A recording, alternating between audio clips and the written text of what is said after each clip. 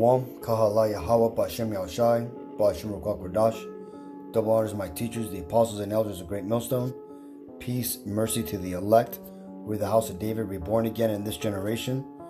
And Shalom to the 130 Yasharala, who today are known as the Negroes, Latinos, and Native Indians, who before losing their true heritage were known as and still are the true Hebrew Israelites of the Holy Bible.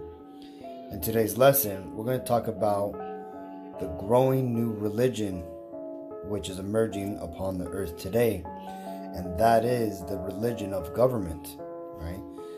Well, there's an article we're gonna I'm gonna read uh, from RT, which shows how over the last few years, government and politics, for the most part, have been turned into the new religion um, in America, right? This also coincides with a mass exodus from these organized religions.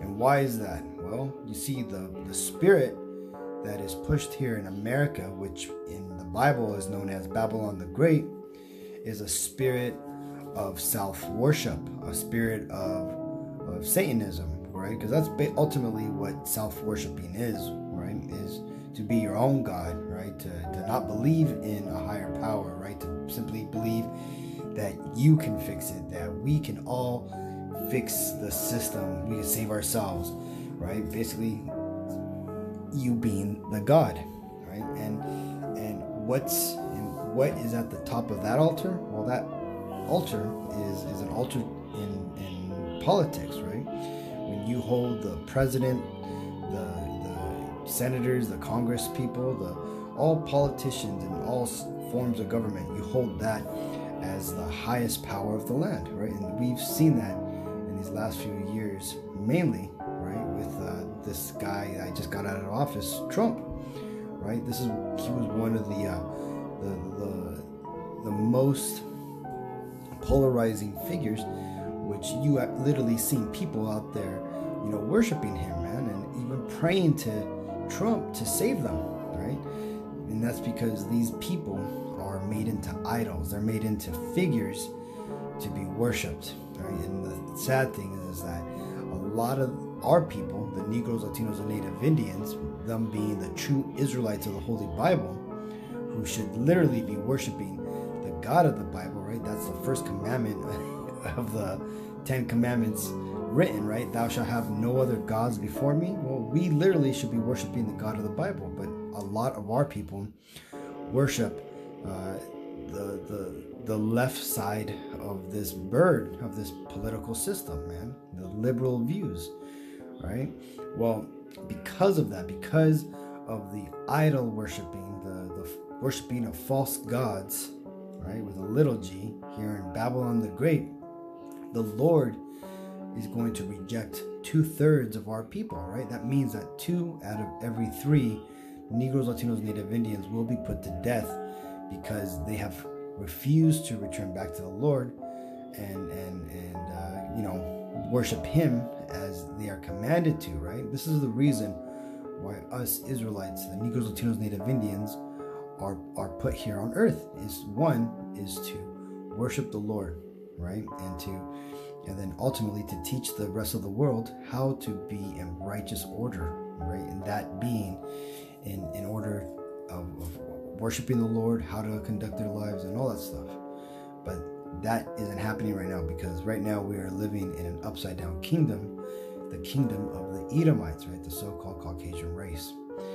Well, I said all that to read this, right? This is why ultimately this prophecy here is going to come true, right? Because the Lord is getting tired of our our people going off, right? And so so he's going to take two thirds of our people, the Negroes, Latinos, Native Indians, and put them to death. Right? And he's going to do that in many horrible ways: the plagues, famines, the sword. Right? All these stories that you're starting to see now of the Negroes, Latinos, Native Indians dying, getting put to death, right? Either through natural causes, police violence, weird circumstantial, you know, accidental deaths, that's all judgment, right? And the Lord's going to only ramp it up. You're going to continue to see large, larger and larger death rates, right? So much so that people are going to start to wake up and they're going to start to realize what's happening. Well, some people, that is, right? Because other people, it tells you that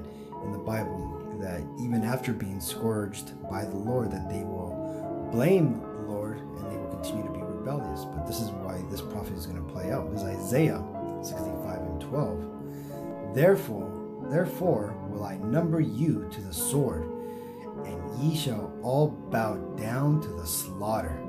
Because when I called ye, ye did not answer. When I spake, ye did not hear, but did evil before mine eyes, and did choose that wherein I delighted not. And what was it, and how did the Lord speak to you Negro Latinos, Native Indians? Well, he spoke to you by by us, the prophets of the Most High, right? The prophets of Yahweh Bashim Ashai. Yahweh being the true Hebrew name of the Most High Father, right? That means that's Hebrew for He is, right? And we've told you, you know, what the truth of the Bible is, you know, starting with Abba Bivens, you know, back in the 60s, all the way to currently, right? Starting with our apostle, the, the true leader of Israel, the Negroes, Latinos, Native Indians on the earth today, Apostle Tahar, right? On down to the rest of the apostles, the elders, and all the rest of the prophets here at Great Millstone and all the other camps that teach uh, what Great Millstone is teaching, right? And hold the apostles in their rightful uh, right? Uh, we have all been out on the streets, highways and byways, right? And, um, you know, telling, telling the people that drive by in cars, walk by, you know, who are the Israelites? What is the true true uh, image and name of the Lord. You know, what is the truth of the Bible? That's all being declared, right? And this truth is now going out through all the world, right? That you have great millstone camps all over the world Japan, Norway, England, Mexico, uh, Alaska, Canada, uh, Af- many places in Africa, Australia, Japan, um, Nor- Norway, you know, I think there's one in France too. Uh, but basically, there's camps all over the world, right? And where there there literally isn't any brothers, the internet's there, so people are getting this message, right? And this this truth, for the most part, is going is fulfilling that prophecy, right? That when this truth, you know, uh, reaches the four corners of the earth, then the end shall come, right? And and that's why everything is is is collapsing right now. The economy, the world, uh, political system, you know, uh, you know, just everything is changing now. And why is that? Because we are out there pushing this vibration of the truth of Yahweh Bashim Ashai, the truth of the Bible out to the world, right?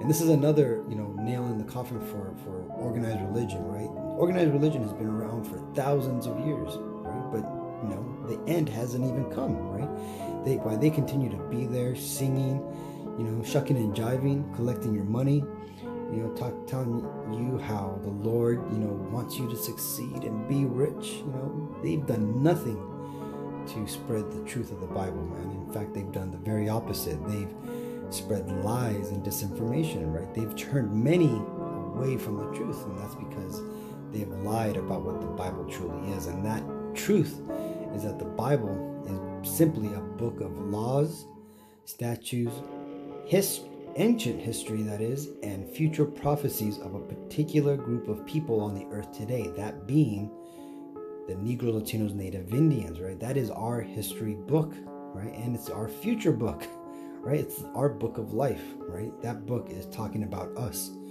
right? Us being the Israelites. Now, let's get on to that article that I want to read, right? Because this ultimately is your new gods, Babylon, right? Let's go and read this real quick. It says, Government becomes God. Jacobin satirical cover, literally idolizing Biden, strikes a nerve. And this is the image that they're talking about.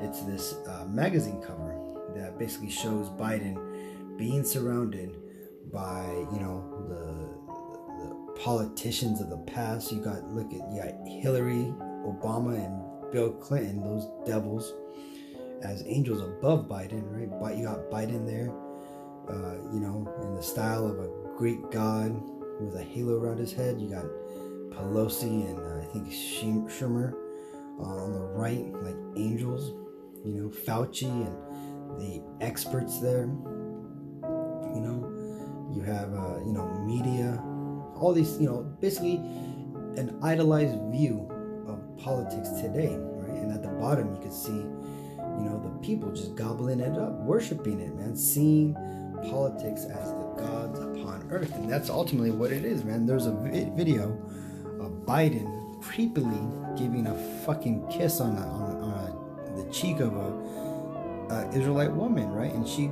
fucking loses it, man. She's all happy there, man. That's, you know, that shows you how lost our people are, man. That they're literally uh, losing their, their shit over being kissed by the devil and stuff, man.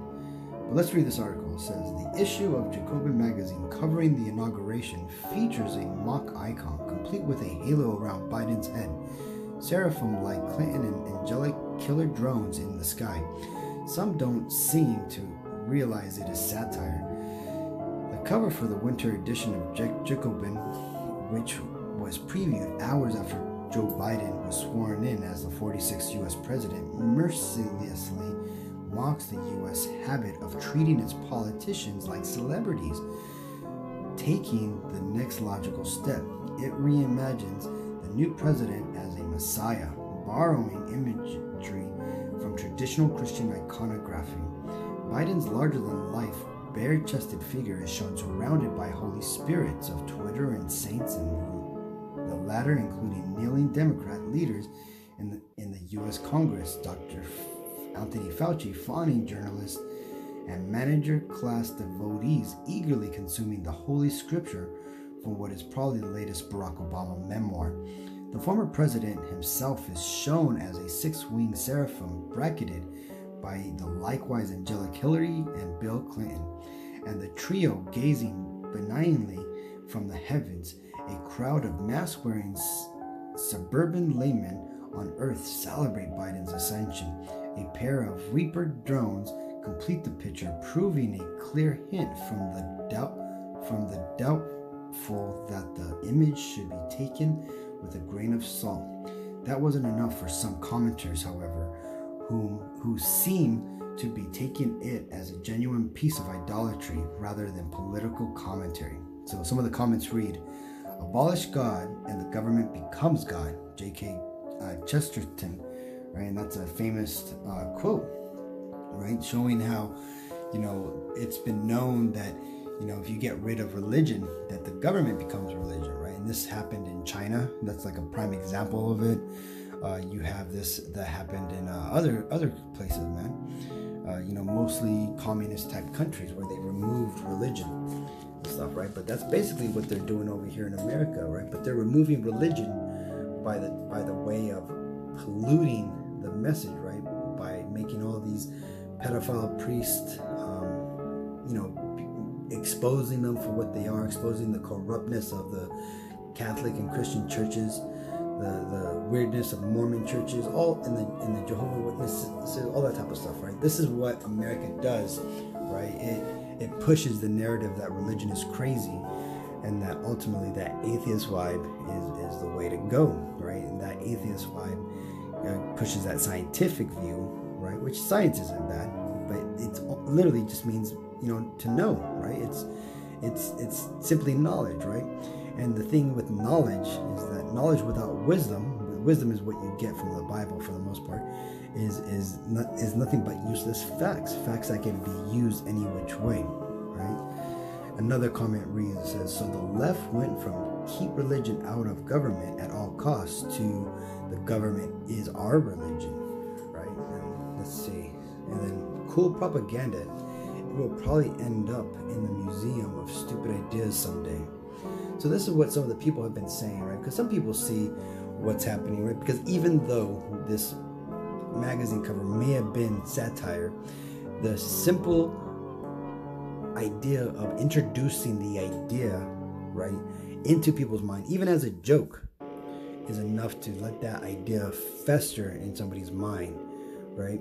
And and that's how it works. This is why you see a lot of these devils out there making jokes about the truth. The Simpsons, uh, you know, uh, Stephen Colbert, John Day, you know, uh, Jon Stewart out there talking about, you know, this is Babylon and that the crowd work, you know, he's giving golden idols to worship, right?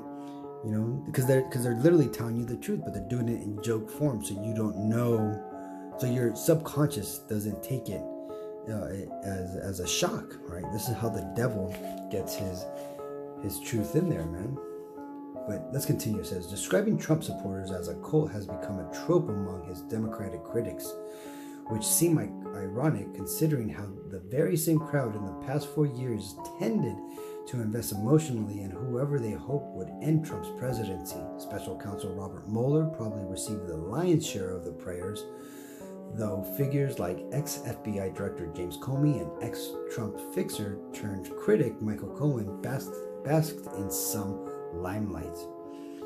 I'm trying, and, and another comment reads, I'm trying to will the P tape in, into existence and protect Robert Mueller prayer candles.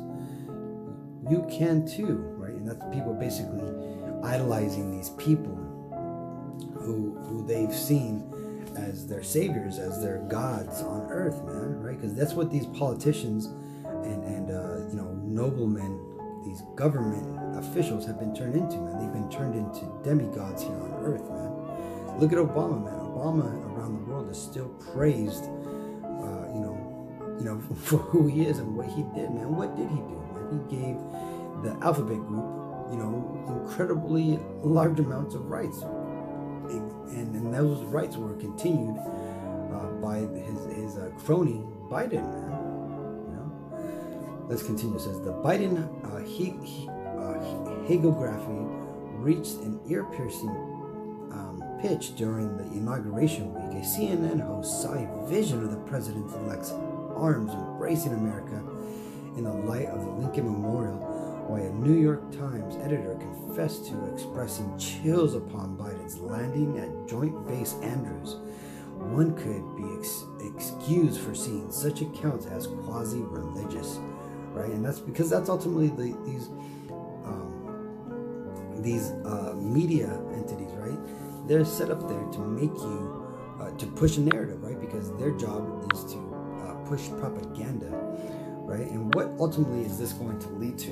Well, it's going to lead to everybody starting to follow the government in a way where you can where it's going to be considered a crime to speak against the government, right? We're already starting to see the very beginning of this and that's because these devils are you know in the attempt to shut down free speech and and um, in an oppositional voice they're going out and they're basically pointing the fingers at themselves. So this way they don't appear to be the uh, bad guys right?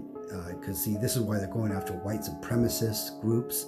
But ultimately that domestic terrorist or the homegrown terrorist like they're pushing at first, they're going to target white supremacists, but next is going to go on to the Muslims, and then ultimately religious extremists, which is pretty much the Hebrew Israelites, man. You know, we're already on the FBI watch list, but the point being is that this ultimately will be it will be something that will trigger uh, the the prophecies that that talk about how we shall be hated amongst men for the sake of the truth of the Bible, right? For, for the sake of Yahweh Shai, the Messiah, right? And this ultimately is what what uh, was shown in the book of Esther, right? When when a Haman, who was a so-called Jew, right, but you know, an Amalekite, uh, right, which the Amalekites are the top tribe of the nation of Edom, right? Today you would know them as the so-called Jewish people that live in Israel, Israel today, right? The, the these are the people who rule the world along with their Caucasian, other Caucasian tribes brothers, right? But this is a man named Haman, who was, you know, one of the top people uh, of Amalek at that time. But he basically got close to the ear, the, the, the ears of the king, and basically started talking shit about the Israelites. Man, made it seem like we were the bad people, man. So much so that the king agreed to Haman's request of uh, you know, of, of, basically killing off all the, the, the Jews, the Israelites in that time, right? Because he made us seem like we were evil ass people. right? Now, let's go ahead and read that example so you could see just how these devils, they how they did it, how these so-called Jews, these devils, you know, perpetrated this lie back then. This is basically what they're going to do today. But let's read this. This is uh, Esther 3 and 8. And Haman said unto King Ahasuerus, There is a certain people scattered abroad and dispersed among the people in all the province of thy kingdom. Right? And Haman, remember, Haman's that uh, Amalekite, right? That so-called Jew talking to the, the king, right? And those people that he's talking about are the Israelites, right? The so-called, in this case, the so-called Negroes.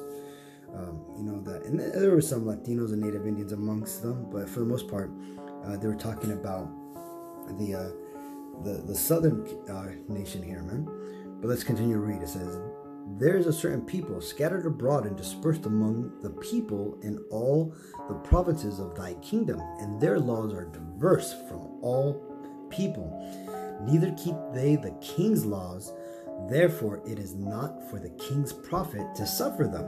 Right? And that's what they're gonna say about us, man. Right? These these Israelites, they don't want to take those jabs. They they're gonna make everybody they're making everybody sick.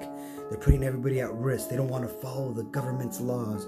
They don't want to follow the, the mandatory you know laws that have been set forth by Biden, the president, or Fauci, the you know the, the head of the C- CDC, right? They're going to start blaming us and making us seem like we're the problem, man. Verse 9, or Salaki, uh, yeah, uh, verse 9. If it please the king, let it be written that they may be destroyed, and I will pay 10,000 talents of silver to the hands of those that have the charge of the business, and bring it into the king's treasuries. Treasuries, and the king took his ring from his hand and gave it unto Haman, the son of Hammedatha, the Agagite. Right, and this word here, the Agagite, the Jew, uh, wait, the Jews' enemies, right? And the word Agagite here goes back to Agag, right? Because Agag, when you get into uh, the um, the uh, the scriptures, Agag was the was the, basically the great great great grandson of, of Esau, man, right? Uh, his you know Agag's father was Amalek, right? So uh, being the first child of Esau, they would ultimately got the blessing, right? Well, these Agagites is another way that you would is another true name for the so-called Jew today. Right? But notice how it tells you here. It says the Jews' enemy, right? Because even back then, it was very clear that these so-called Jews were the enemies of the so-called Negroes, right? And the Israelites, for that example, right? So hear that again, people. The so-called Jewish people of today, the people who dwell in the land of Israel, the Israelis, The Agagites are the enemies of you Negroes, Latinos, and Native Indians, right? Even though there's you know exceptions to the rules, you have you know like Kamala Harris, man, right? She's married to a so-called Jew, her enemy, right? And that's exactly you know it's it's you know I don't even want to digress, man. But this you know you you, you get the picture, man. You know these devils, these snakes have hidden themselves so well, man, that our people think that these people are our friends. Back to, to the verse, verse 11. And the king said unto Haman, The silver is given to thee, the people also, to do with them as it seemeth good to thee. Right? And look at this, man. Look at what people like this are doing today, man. So, you know, Bill Gates, I wouldn't be surprised, man, if that guy was a so called uh, Jew Amalekite, man. Because remember, these are Amalekites, man, they are tricky, man.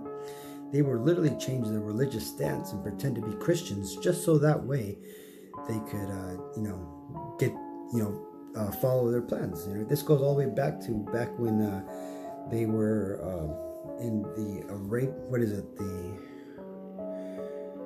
when the Arabs ruled the the the Ottoman Turk era, era or something like that. When the Arabs were in power and stuff like that, man, they forced all the uh, the Jews of that time, the, the, the so-called Jews who were pretending to be Jews, they forced them to become Arabs, right? They and they did. Right? This is why.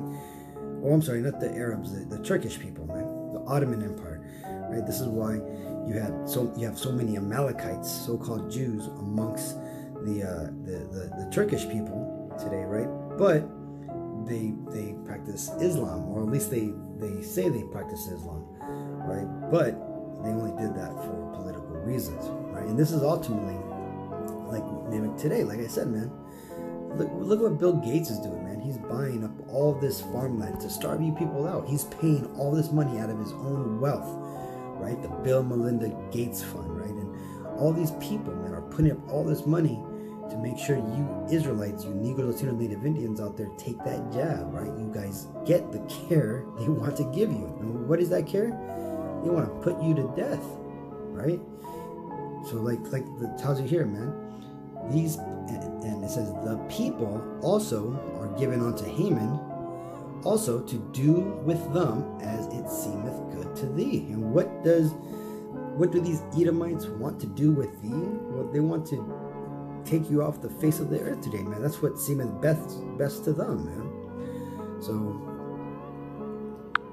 and what's going to be well, one of the ways that they're going to do this? Well, you're starting to hear talks about it now. Kathy Gibbard just came out, I think, today, asking Bill uh, Biden has if he's declared martial law, right?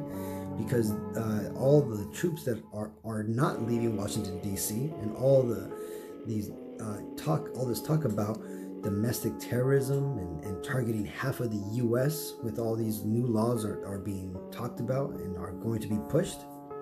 Right? It's coming, people. Martial law is coming, and there's going to be some hard times, man. This is Jeremiah 30 and 7. Alas, for that day is great, so that none is like it.